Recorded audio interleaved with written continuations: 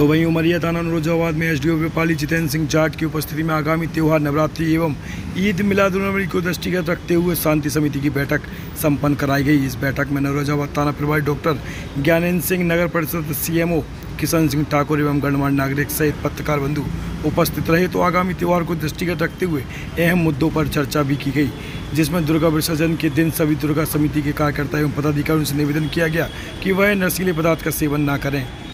तो वहीं डीजे में भक्ति गीत के साथ शांतिपूर्ण तरीके से विसर्जन में जाएँ और शासन के द्वारा बनाए गए विसर्जन कुंड में ही मूर्ति का विसर्जन करें, क्योंकि कई मरतबा देखा गया कि मूर्ति विसर्जन के दौरान जिन युवकों द्वारा नशीले पदार्थ का सेवन किया जाता है, वह घटना के शिकार हो जाते हैं।